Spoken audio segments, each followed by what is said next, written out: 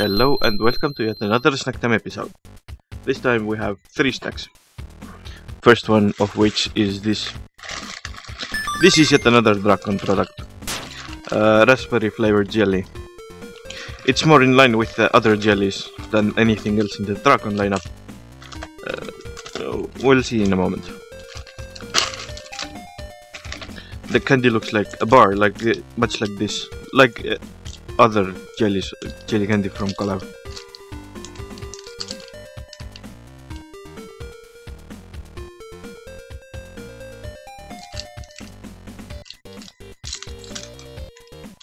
And the candy itself looks like this.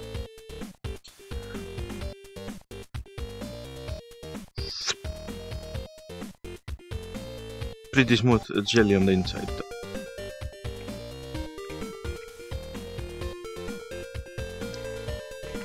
Tasty too. If you like raspberry stuff, you're going you're going to love this. It's delicious. It's even better than the banana and the strawberry one that Dragon has. I don't know why these two jellies are in the Dragon lineup, but I guess they are. As, a, as our next snack, we have this box and it says uh, happy holidays. This is indeed a christmas snack. It's it's a truffle chili flavored uh, candy. And it comes in this box. There were other uh, types of these candies at christmas but i could not be bothered. Can't review everything. So the candy itself looks. Well not like this but like this. Just like the Dragon box there are two shapes. Longer ones and rounder ones. But in this case uh, both of them uh, are chili filled so it does not matter what shape you pick. It's going to be the same filling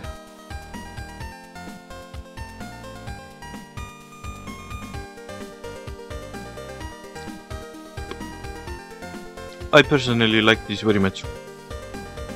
But after uh, the third one, you might want to stop. The chili is quite in intensive here and noticeable. But overall, if you see this at Christmas time here, it's delicious. Just get a box. And yeah, that's that's this one.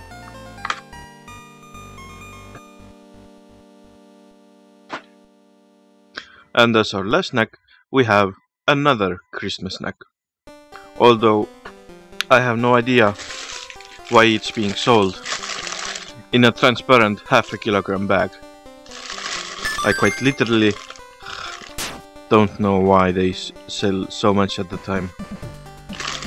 They they've had this uh, candy for two years in a row now at Christmas, so I'm betting it will be on uh, next Christmas as well.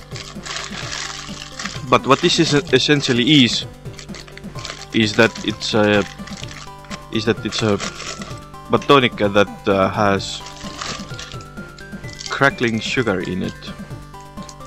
The kind of sugar that you know goes pop when you eat it.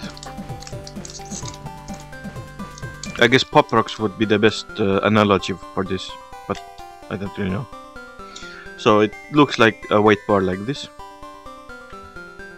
and there's nothing too visible in, inside it. Just this.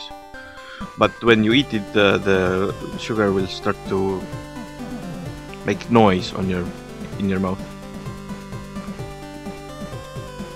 But I have no idea why they did not make a proper packaging for, for this. So if you if you fancy yourself some pop rocks then you might actually like this. There's uh, as I said, I'm assuming that they will sell it next Christmas as well.